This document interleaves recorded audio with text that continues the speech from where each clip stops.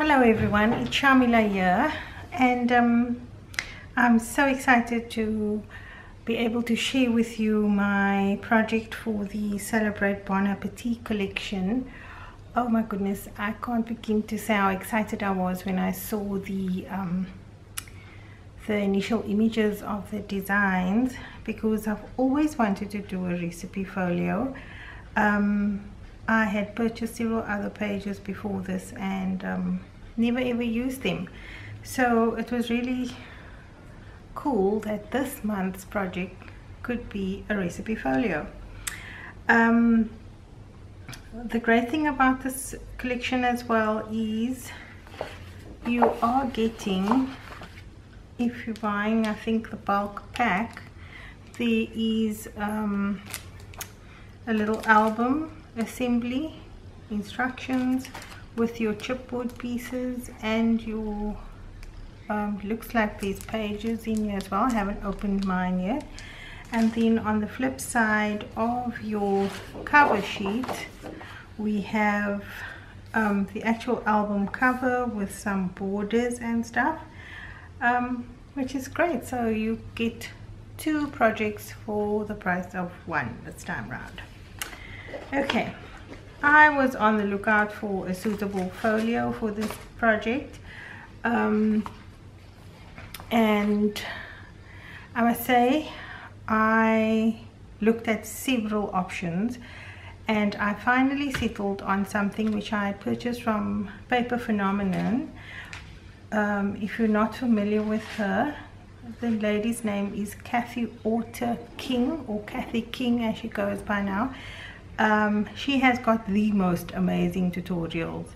And the good thing is at the moment from now um, until I think it's the 26th of December 2019 there's a 50% discount on all her um, tutorials.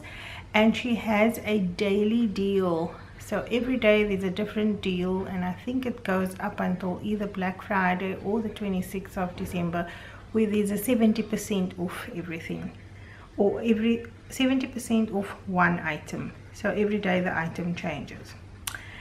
Um, needless to say I have invested in a few. I love her tutorials. Okay so this is based on hers.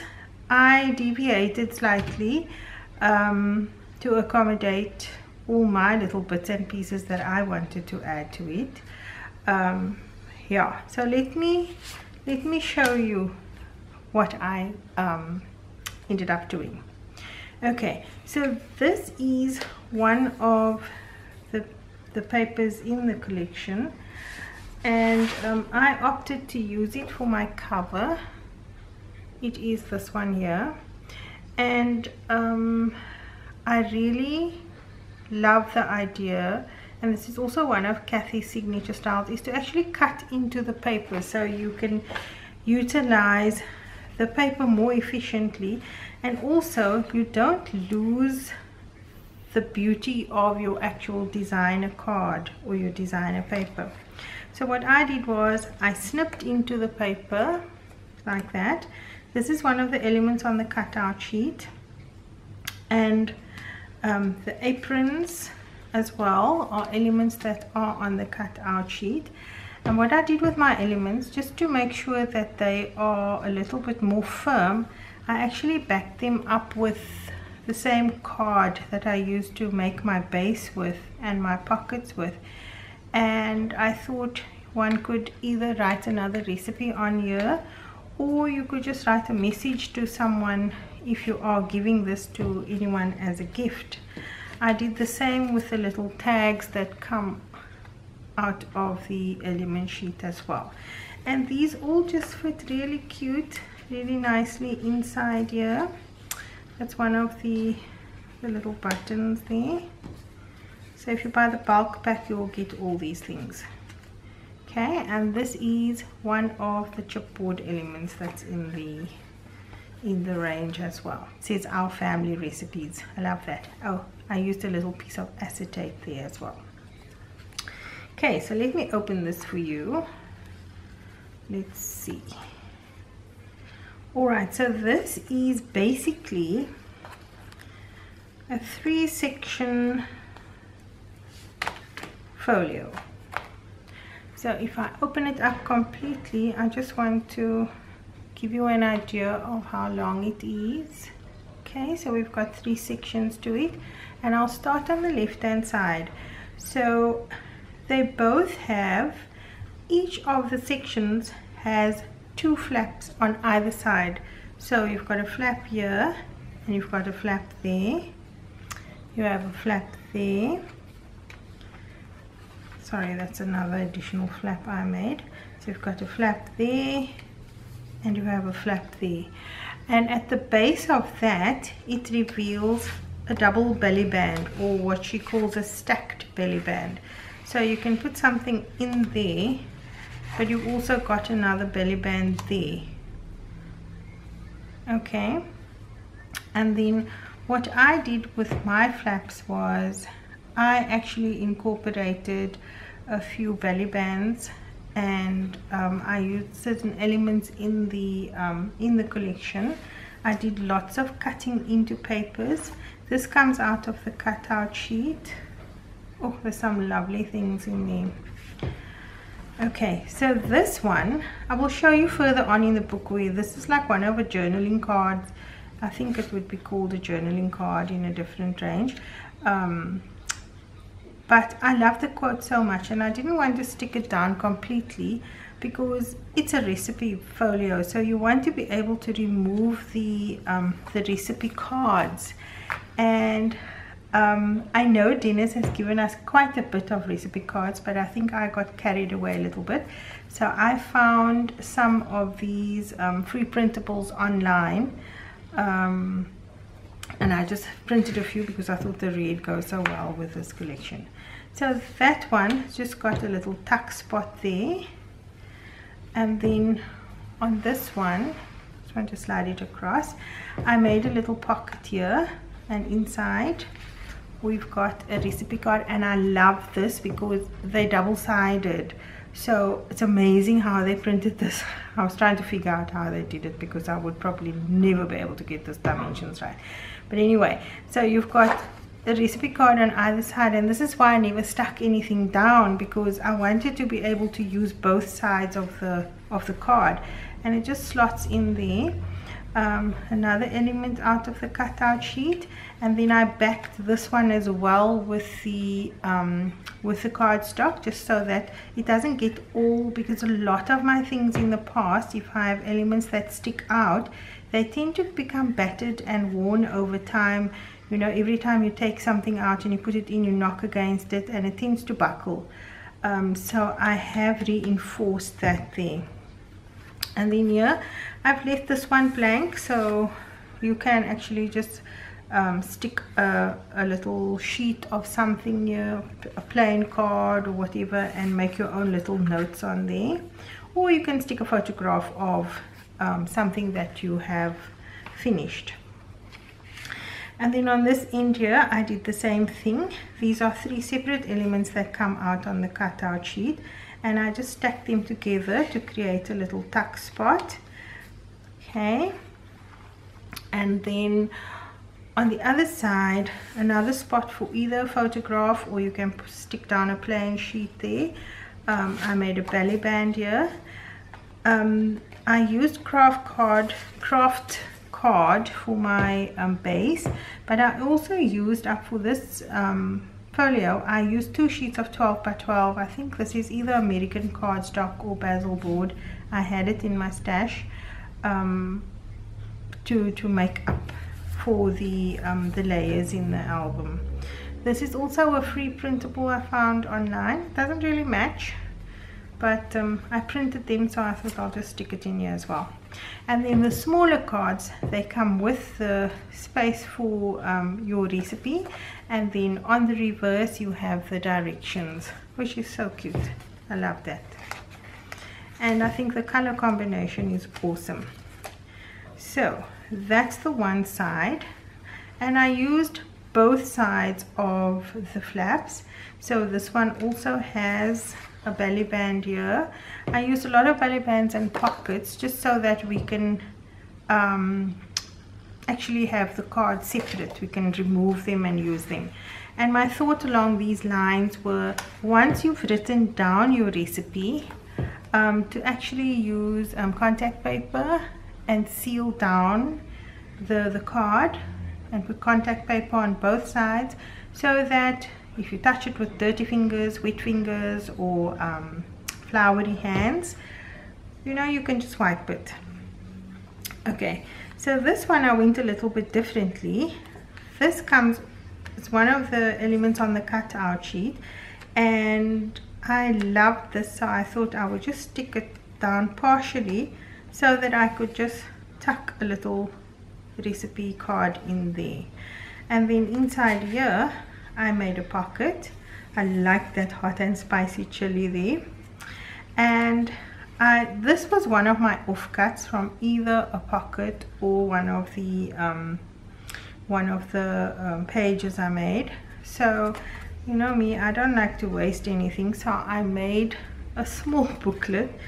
Um, it's magnetized so that it stays closed. And then um, let me see. I don't want to. I'm wondering if you can see it like this. Let me just move this out of the way. So this is a little book. It's not big at all and these little cards are tiny.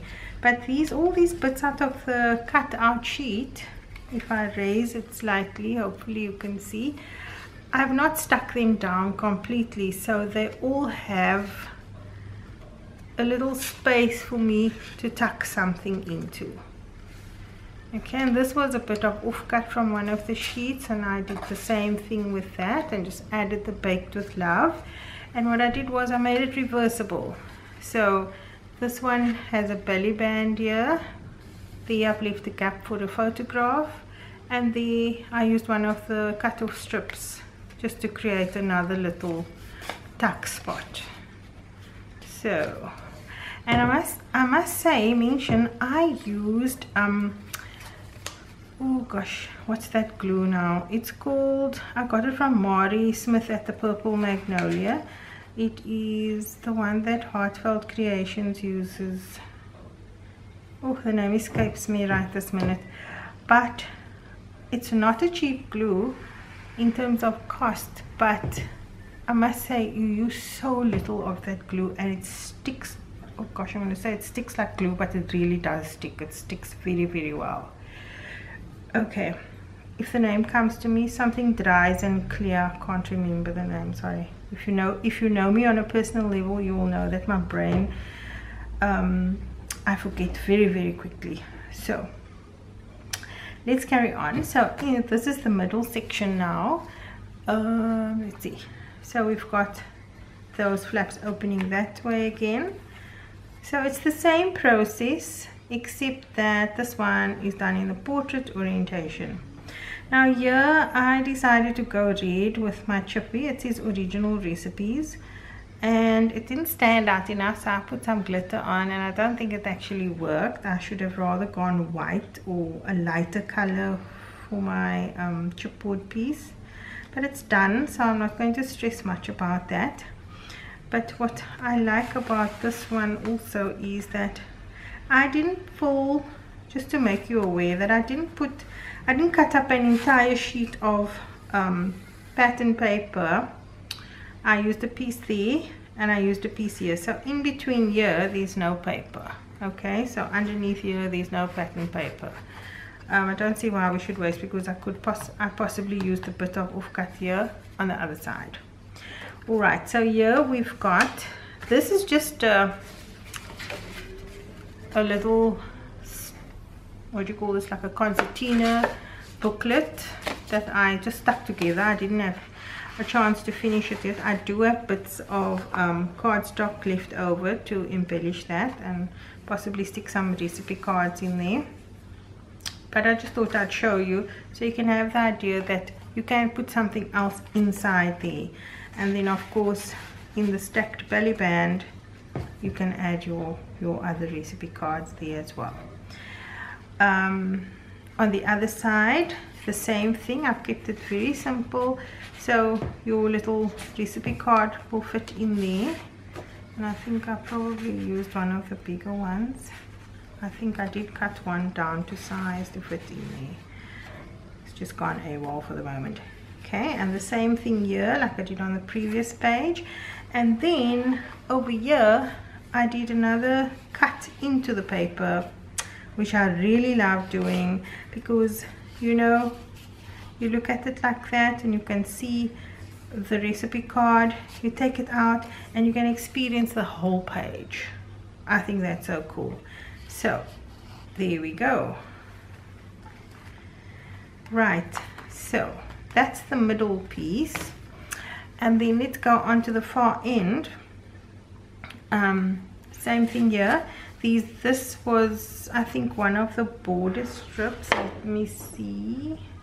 Yes it's one of the it's this page here. It comes off this page here. There's some really nice borders which I have used in the in the in the um, in my project um, and this is also on the cutout sheet. I thought this reminded me of a paper clip so I thought okay let's use it like one. And then over here with this one what I was going to do is I created just a little um, a small pocket here an angled pocket. And what I'm going to do with this one is I'm going to put some plain cardstock at the back here so I can um, make personal notes in there or write a recipe by hand. I think it's really nice if you leave something that you've written yourself um, so you know for your family and your generations to come they can say oh my granny had an awesome handwriting. Oh ooh look at that who wrote that? Okay so leaving a bit of yourself behind. Here I've done another cut in and the first range I loved so much simply because there were so many opportunities for me to do this. I just love this idea. I think it's so awesome because once again these cards have are double-sided. So you you got your directions on the one side and you've got your recipe on the other side and they just stack so nicely into there. I kept this one simple so you can put directions or photograph there and then um, the knife and fork also comes off the cutout sheet. And then here we go. I've I have magnetized some of these where I thought that they needed to stay flat. So this one has a magnet. And then here I've just I've done the same thing. I've just glued down a small piece so that we can create a tuck spot there. Okay um, let me just open this and make sure you can see the whole page. And then on top here we've got another belly band. And I utilized every little bit of paper. I, I really did. I used almost everything. And then this kettle is also one of the elements in the cut out sheet. I chose not to cut out the handle completely just so that we can actually um, not damage it too much with all the in and out of the of the card but it it does hold the paper quite nicely. Okay and then of course we have another stacked belly band in the center. Oh am I in shot? Yes. We've got another stacked belly band in the center. So this is based on Kathy Orta's um, tutorial like I said. The tutorial um, the tutorial is called her photo mats and inserts one. And this is the insert 5 and I think in that tutorial you get six different inserts that would actually fit into all her albums that she um, makes. And I thought this was so nice instead of using it as using it as an album insert I would use it as a recipe folio. So this is Kathy's version except for all the pockets and tuck spots. Those are um, not in the tutorial. Those are the things that I decided to do on my own. Okay and then another spin that I have on Kathy's idea. Oh and I wanted to show you this. This is one part of the same sheet and that's the other part of the sheet.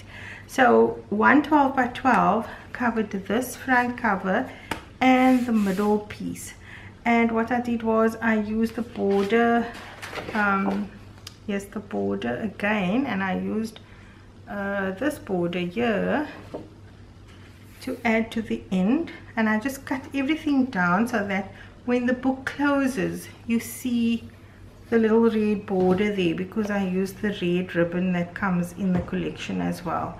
And I, I didn't want to see everything. I just wanted to see that little red border. Okay then now this is my own spin on the idea. So what I did was I thought oh my gosh you know knowing me I might have more recipes than will fit in here. So how about making a pocket? So I did a nice deep fat pocket at the back. And you can see I've used all my strips that were left over just to make up. I, ba I based the whole thing on on red. So it's your craft cardstock. There's a red mat. And then the um, the bits and pieces that I had. My one regret is that I didn't do a cut into this one which would have been so cool but it's done. I stuck it down. It's too late to cry. Okay. So the other thing that I did with this was let me just move this book out of the way quickly so we can see this is I created another little concertina. Um, let me see. Okay so if I open it like this. And I had a red square left so I cut it into uh, diagonally into triangles. And what it does then is I've got a tuck spot there I've got a tuck spot there and then at the bottom here this is also one of the strips on the border sheet. And so we've got oopsie we've got a tuck a tuck spot there as well. And these like I said these red, red recipe cards match just perfectly. And then on the other side I did the same thing except with all the little tabs that come on the cutout sheet. So instead of using them as tabs which you would normally use in a conventional album I split them and um, I use them as little tuck areas. So we've got three and on this small um, sheet because it closes up quite nicely and quite small we've got space for six recipes on there as well. Okay and that's my project for this month. Um, I know it's getting harder and harder every month to come up with something different and something nice. So I do hope that you enjoyed a page through my project for this month. Um, I know I've had people asking me for measurements of the previous one I did. Um, I am working on the notes for that one. And um, I don't know if you can see but my little file is gaping slightly. Now I have to resize this thing in terms of making it um, so that it doesn't gape as much. Like I said Kathy's uh, tutorial doesn't have all the pockets and the little tuck spots in that I've and, and that has created bulk on the inside. So when I do redesign it I will create a bigger spine um, so that um, it will be more or less the same size except that the spines will be broader so that it won't gape so much. I did show this to a client today and she said you know what Shamela? But that's my idea of a recipe book because um, you know it looks used and it looks like it's well loved so maybe you like it this way. I don't know. You can let me know in the comments below. And that's it from me. Until next time I know I can talk a lot sorry about that um, until next time see you in cyberspace bye now